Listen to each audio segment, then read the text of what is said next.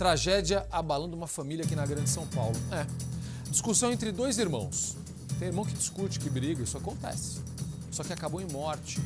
E o suspeito do crime teria se arrependido do assassinato, mas aí já era tarde. E fugiu. E esse rapaz aí está sendo procurado pela polícia. Reportagem no ar, acabou de ficar pronta, vamos lá. O que era para ser uma noite normal na casa de uma família terminou em violência e morte em Mauá, na região metropolitana de São Paulo.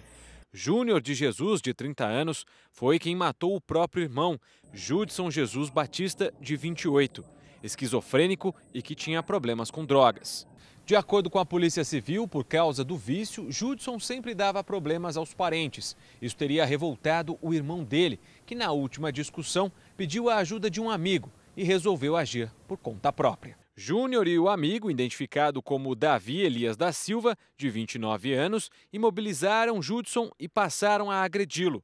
Ao perceberem que o rapaz estava desacordado, os agressores teriam tentado realizar os primeiros socorros, mas a vítima já havia morrido. A família ainda tentou convencer Júnior e o comparsa a se entregarem à polícia, mas eles fugiram.